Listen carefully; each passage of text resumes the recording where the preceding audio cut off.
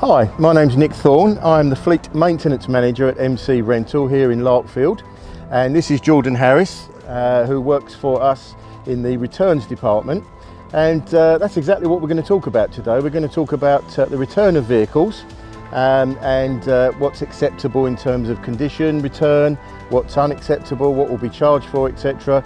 And we hope to give everyone a good guide um, as to when a vehicle comes back, what to expect, um, and hopefully make the process as easy as possible. So the a brief overview is um, the vehicle will be collected either by one of our drivers, brought back here to Larkfield, or dropped off by you, the customer, and we will um, walk around it either with yourselves or if, um, if the driver's brought it back, I'll walk around, take some photos of literally everything. It won't necessarily be damage.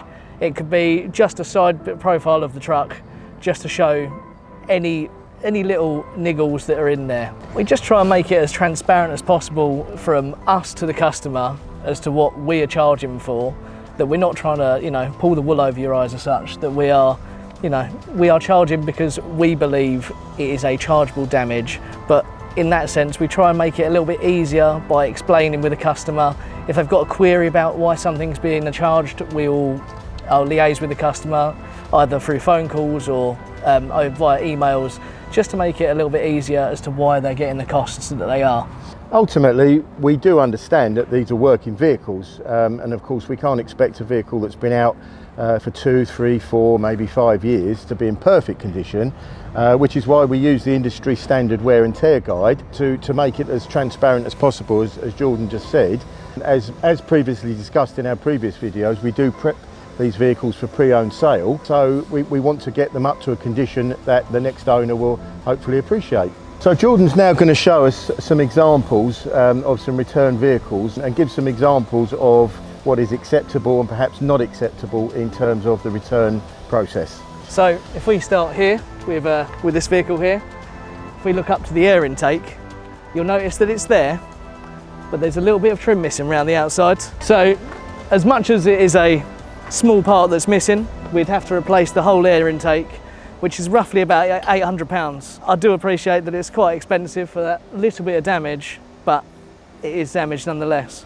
Tell us a bit about what, in terms of paintwork, Jordan, what would be an acceptable wear and tear situation? So, acceptable wear and tear, um, we're talking maybe little pin dents, we're talking uh, scuffs that could perhaps be buffed out. Um, anything that is relatively minor paintwork wise, if it doesn't if it doesn't require too much, so no panel work, if it doesn't require uh, a paint shop or the body shop we have on site, to sand it down and to go at it basically. That is uh, the the bare minimum I think is if you can get your fingernail in the scratch and it's quite long, we would charge it because it would have to be repaired. That would need to be painted, yeah. Yeah. Um, uh, a good example is uh, on the Volvos, sometimes the wind can catch the door and the check strap will bend the door and we have to repair it when it comes back. It could well be there's no paint damage but it will still have to be straightened nonetheless.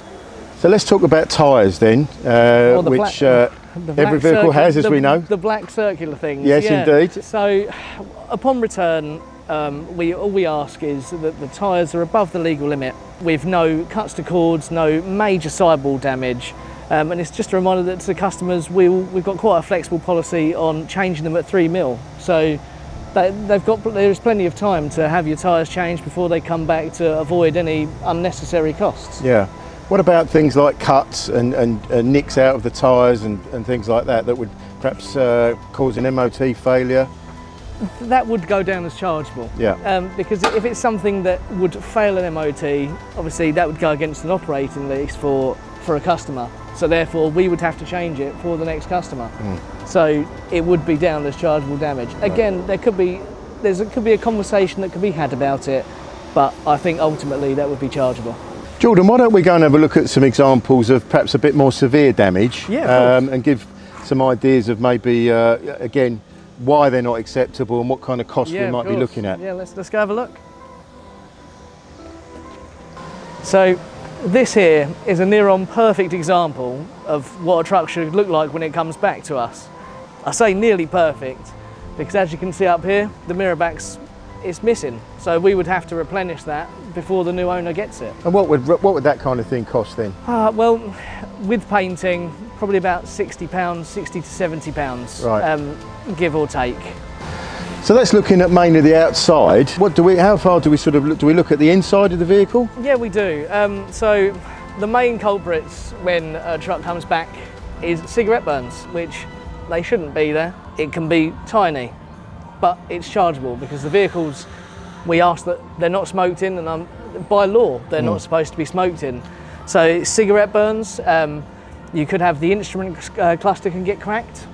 Um, again, that's chargeable. It might not necessarily fail an MOT, and it might not flag up on a, an inspection, but it is damaged and therefore chargeable. Sometimes you occasionally get air vents. Air vents are damaged, um, but sometimes, you know, again, allowing for wear and tear, sometimes they can come loose, and we won't charge for that. It's if something has been pulled out, or even something like if a, a DVS kit has been fitted and they've removed it, and we have holes left in panels. Right. We would then ultimately charge it. And is that kind of thing repairable? Uh, yes, it can be, and in instances we have we have charged for repairs rather than replacement. But obviously, depending on how large the holes are and where the holes are, uh, we may have to replace panels. Right. So what about glass, the windscreens um, and the side door windows, things like that, Jordan? Um, so we don't we don't cover any window damage, whether it's windscreen or windows. So anything from a little tiny anything from a chip that's bigger than a penny would be chargeable, and obviously then cracks cracks are chargeable, and depending on the severity of how many chips you've got. We may have to replace the screen, th- therefore incurring the cost of a new screen and fitment of said screen. so there is a bit of flexibility and leeway Yeah, of course there. there is. Yeah, A- and again, we do try and work with the customer. Yeah. In um, we, we try and be as fair as we can be. If there's three chips and they're quite small and they're dotted around, we, we don't have to replace the screen. If there's a big uh, bullet hole, let's say, um, in the driver's eye line, um, not only would it be an MOT failure, but we have to we have to change the screen. So here's another example of one that's just been recently been uh, returned. Um, Yeah. And there's, there's quite a bit of damage on this one, Jordan, isn't there? Yeah, it's quite extensive um, from from the top all the way to the bottom, and again, this is something that could be avoided if I could come out and have a look at it, or if the customer wants to send me photos, that's absolutely fine. Right. Um, and then we can again liaise with the customer as to how we could have this repaired prior to it coming back. Right, I and see. again, for the customer and for ourselves here, it makes it a lot smoother as a process of off hiring the vehicle and you know finding this a new home, and also the customer not incurring perhaps such a heavy charge. So again, it's all it's just part of an ongoing discussion, really, isn't it? Yeah, of course. And as I say, it is a discussion. There's, there, I will send the estimate over. A customer can look at it and they can, you know, they can pick parts and they can query it with myself, and we can talk about it. And I, lo- I love talking to customers because I get to meet people, I get to talk to people, and really help understand as to why we're charging on these vehicles. Let's go and have a look at some more tools then, Jordan, indoors, and uh, just see what else we can offer that customer that can help. Exactly. yeah, we do smooth have a out the wear and, we do have a wear and tear guide, so perhaps we should go and show them that.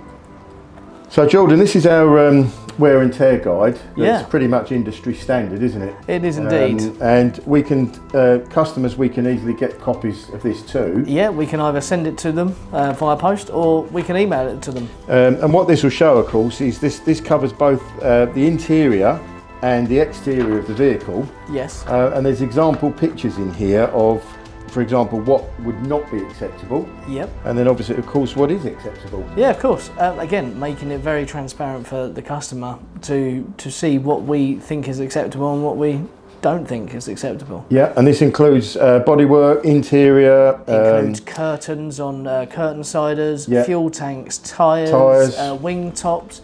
Everything that you need is in there.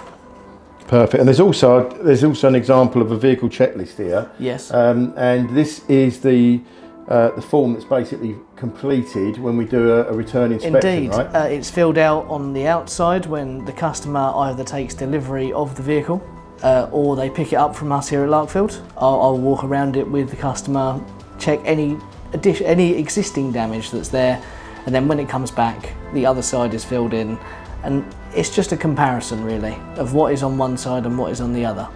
So hopefully everyone's found this uh, little piece helpful. Um, if you'd like a copy of the wear and tear guide, uh, please let us know. Get in touch and we can either send you a digital copy or we can send you a hard copy. Uh, so don't forget to like, comment and subscribe and thanks for watching.